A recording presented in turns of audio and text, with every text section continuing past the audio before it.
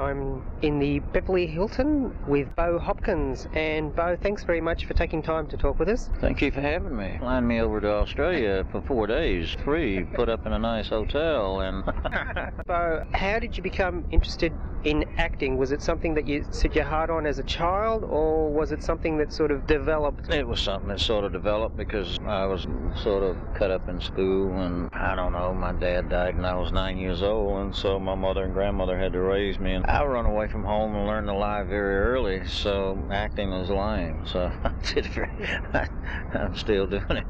So I had to go on service when I was 16, and once I got out of service, my little theater director in my hometown Donald McKellar got me in a well I did a play and then I did the lead in three four two three plays after that and then he made sure I got a scholarship to summer stock and that's actually where it started but I've always been a cut up I've always liked to mimic people so that's what actors do anyway that's basically okay. Summer stock back in the east? It was in Kentucky Pioneer Playhouse yeah. After you did that what did you come over to California where all actors come or what happened then Bo? no I went to New York. I'd met a guy there that had written a play called A Leaky Roof Circuit and he invited me to New York. And the girl that I was in summer stock with I stayed with because I would come from South Carolina it's a cultural shock. So I went to New York first and I didn't like it because I don't like any place that a dog don't have a park. I like to visit New York but I, I didn't want to live there so I came out to California. Was that to further your career or just to get out of New York York? No, that was to try acting out here. If they want to be in the acting, everybody eventually comes to California. Now, you would have been one of thousands, millions. How do you get in the system? How do you get work? Well, I did some plays, and then I got an agent who had, had seen me in a play, and then I got my card by doing on the Andy Griffith show. And later, Ronnie Howard and I did.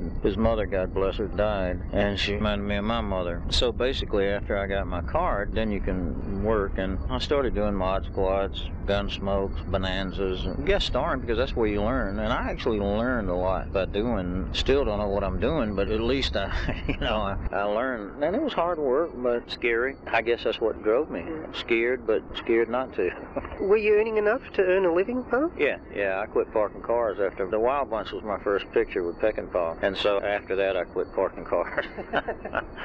Your mother, what did she think of you being an actor? I was an actor when I was a kid, so everybody's an actor. Some of us get paid for it or make it believable. She was very happy. I took her to see. They had the premiere of the Wild Bunch in my hometown, and I took her, and then I took her to see Bridge at Remagen, which was my second picture, and so I was glad to see that. Everybody told her I was going to end up probably in jail and pen or whatever. She got a kick out of them telling her, I just knew Billy would make it because Billy was my real name then, but Bo later. But, and I was lucky that people helped me you know, like Holden, Bill Holden, Ernest Borgnine, Robert Ryan. I mean, God, the first picture, that's, oh man, I was like a kid in the candy store. Just being on the set and watching them. Well, I mean, you hit the gold mine because The Wild Bunch is one of the greatest American films ever made. So, what did you just go through the normal casting process and were lucky enough to get the gig? I think they tested about 14 people, and I think Peckinpah was tired of testing people. So, but actually, Roy Sickner told Sam about me, and so I got the part, shot it in the middle of Mexico. But again, when I did the movie, I had no idea it was just like when I did American Graffiti and Midnight Express. I had no idea. Midnight Express maybe I thought, but American Graffiti had no idea, and it's a cult movie now.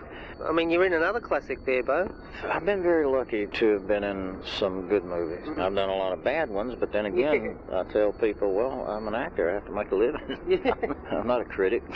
Now, do you have any wild Sam Peckinpah stories while you're shooting The Wild Bunch? Well, yeah. He asked me one day to. I was on the set every day because I wanted to watch and learn. And I was standing around. He said, "Hey kid, come here. I want you to fire this shotgun when I point at you to scare these horses. I want them running in front of the camera." And I didn't know it, but he set full loads in the air, and he said, "Okay, lean down." And so I had the gun, shotgun like that, and I went bam, went right on my butt. and of course everybody laughed, but that's okay because I was a rookie. He used to tease me a lot, but he was very good to me, and God knows I miss him. I miss him an awful lot. Did you keep in touch with him? Because you did three pictures with him. Did you? Yeah, I always kept in touch with him. Yeah. Well, were you one of his gang? I guess you could say that, yeah. Yeah, LQ, me, Strother Martin, and yeah, I think I was one of the wild bunch. Bo, I want to get onto a film that I really, really like. Another Western, Monte Walsh. Can you tell us a little bit about Monte Walsh? yeah, I played the kid in that. That was about my, I guess, my sixth, seventh picture. I wanted to do it because I always wanted to work with Lee Marvin, and we shot it in Tucson, and it was great working with Lee and Jack, but especially Lee. We became good friends, and his wife Pam talked to her three or four weeks ago. Sure miss him too. He left too soon. A film's called Only Way Home, directed by G.D. Spradlin. You starred in it with Beth Brickell, and I remember Beth Brickell from Gentle Ben. Yes, that's right. Yeah, yeah. Well, it was a little independent picture that, in fact, I just finished Monte Walsh, and I flew to Oklahoma City where GD lived, and he produced it and directed it, and his daughter was in it, so it was fun to do. Yeah. Another Sam Peckinpah classic was The Getaway with Steve McQueen and Ali MacGraw. Well, that was fun because I got to work with Steve and Ali, and Did you get along with Steve? yes, once we both got over the oh, he knew I wasn't a threat, and uh, uh, you know, I didn't tell him how much I loved him as an actor, but yeah, we became good friends, and Ali, the sweetest person, and of course my other friend who died later, Al Lettieri. I had a great time on that picture. Ben Johnson, Ben and I did about four pictures together. Just had a great time. It was a good cast, and later when I did Killer Elite, next one I did Yeah. for Sam was a lot more fun. I had bigger bigger part, and I got to do some, you know, shooting myself instead of being shot. Of course, I did later. It was great to work with Steve. He had the gift. Interviewed last time I was here, Richard Sarafian with Man Who Loved Cat Dancing with Burt Reynolds. It was a fairly unusual film as well. And where was that shot, Bo? We shot that in Gila Bend, Arizona, and that movie was cursed from day one Yeah. because my mother died three Oh. weeks into the picture. Sarah Miles was business manager. A guy killed himself, overdose. Burt's back went out on him. Well, he had a hernia, and then Dick Sarafian's back went out on him. Oh man, that was oh jeez, that was a tough, tough picture mentally. Eventually got made, and I like it. Well, Sarah's just uh, what an actress, and it was one of Burt's best things, I think. Yeah, the movie came out okay, but behind the scenes stuff was Yeah, tough, yeah. tough, very tough. Also, I want to get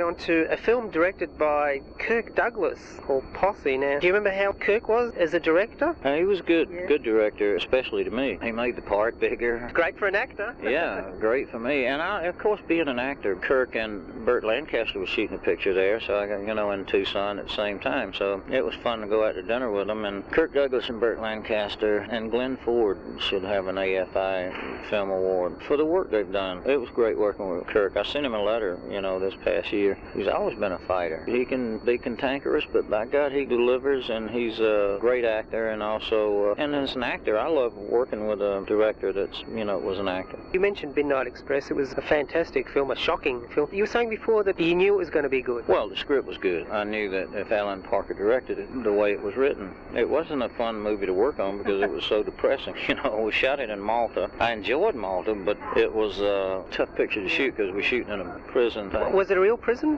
No, it was made into a prison, the set designers, and actually Oliver Stone, you know, wrote it. We didn't meet until I did You too? uh, U-turn, so we had a long time in between. But it was great working with Brad, great kid, and of course Randy Quaid. The thing on that is that we had to, you know, was on Malta for God knows how long. I came over late. It was already filming. You worked for George Lucas again on Radio Land Murders. How was that? Well, I worked for him twice again. We did more American Graffiti, and then Candy Clark and I, he wanted us to come down to a little cameo, and he directed us in it. And it was the first time he directed since Graffiti, Yeah, so yeah. it was fun for him. Yeah, we had a good time. Yeah. We mentioned U-Turn before. How's Oliver Stone? We know he's a great writer. How is he as a director? He's as intense as his writing? He's like Peckinpah. Yeah, right, yeah. yeah. Uh, crazy too. In his own way, yeah, yeah. Well, God, you love to work with him because he was a legend, all the great work he's done. So I had a good time, but he's got a sense of humor like Peckinpah. He likes to tease you, you know, which I like. You got to get his sense of humor. Once you've got that down, you're okay.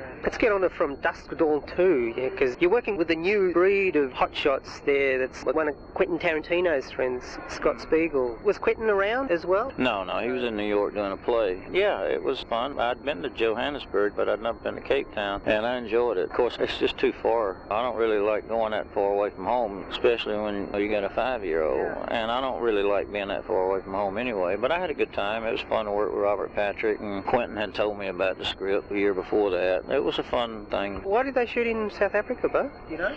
Money, Money. Yeah, a lot cheaper. Oh yeah, A-class crew. I want to ask you about this movie in Porterville. Don't Let Go, is that the name? That's the title now, you know. Yeah, I did one just before that with Dwight Yoakam and Billy Bob Thornton and Bridget Fonda called South of Heaven, West of Hell. Great title. Yeah, good title. So Dwight Yoakam's given up the singing, has he? No, no, no, no. He won't ever give that up. But Dwight's been studying acting for 15 years, so it's not like, and he directs his own videos, so it's not like it's his first directing job, even though it was. But he wrote every character in there for somebody in mind. Matt Clark, Luke Askew, and I have done four or five pictures together, so it was fun to see my friends again. Well, that's about all we have time for. I just want to ask you, you've got a little script there, so is that your next project, Bo? I don't know yet. I'll find out today. Okay. Well, good luck with it. All right then. Bo Hopkins, thank you very much for taking time to talk with us. Thank you, and give my love to all my friends in Australia. The Aussies, see in South Carolina, would say, good night, mate. Thanks very much.